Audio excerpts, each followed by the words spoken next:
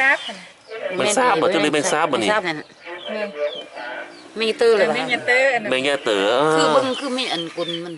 อยู่เนี่ยแมงอีเต๋อหรือจะมาใส่มันที่ผมเรียกว่าตะขาบน้ำนะเรียกแมงแย่เต๋ออืมข้ามนำกับคือแค่เนาะอืมคือกัน แล้วมีอะไรอีกนี่อันนี้ตัวอะไรบ้างนี่อันนี้ตัวนี้ตัวอะไรปลานี่พันธุ์ปลาพันธุ์นี่นะปลาพันธุ์นี่อันนี้แม่นแม่งอันนั้นแม่งเก็บแล้นี่นะแม่งอะไรนะแม่งเก็บแล้นี่แมงแกบกินได้ไหมกินหรือว่าก็จะอ้อ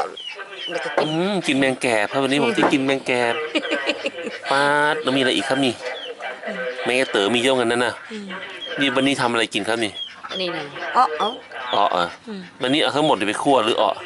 ไปอ้อเอากลัวมันอีนั่นสุกดีปล่อยมึงเฮ็ดอ้อเอาดิตอนนี้ไซส์ขี้ออกคนนอกนี่มันพวกนี่ครับเดี๋ยววันนี้พามากินอาหารพื้นเมืองแบบชาวลาวแท้ๆนะครับอยู่ที่ เมืองหงสาแขวงไชยบุรีประเทศลาวนะครับ และนี่ก็คือครัวครัวของเจ้าหงสาเขาจะมีเหล้าชามาแบบนี้อยู่คือนะบ่มีกันเนาะนะมีเป็ดมีอะไรอยู่ข้างล่างนู้นนะครับนี่ครับเดี๋ยวไปกินแมงอีฮวก แล้วก็แมงอีเต๋อด้วยนี่นี่ตัวหนึ่ง